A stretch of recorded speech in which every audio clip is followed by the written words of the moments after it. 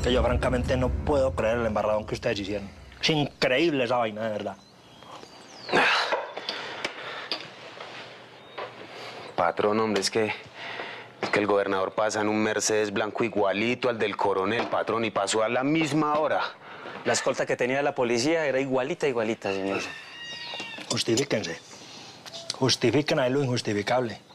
En vez de tener ustedes las huevas y los pantalones amarrados y el carácter de sentarse aquí y decir, sí, la cagamos, fue un embarradón nuestro, disculpe, asumimos la responsabilidad. Excusa ahí, chimbas de ustedes. No, pues sí, patrón, la cagamos, la embarramos y le pedimos disculpas, patrón, así es. Qué, qué pena, señor. Qué pena. Vaya usted y dígale eso a la viuda. Vaya y dígale a esa señora. Mi señora, ¿cómo está? Vengo aquí a pedirle a usted disculpas por el bombazo que le metimos a este señor. Nosotros no teníamos la intención de reventarle a su marido. Vaya y dígale eso.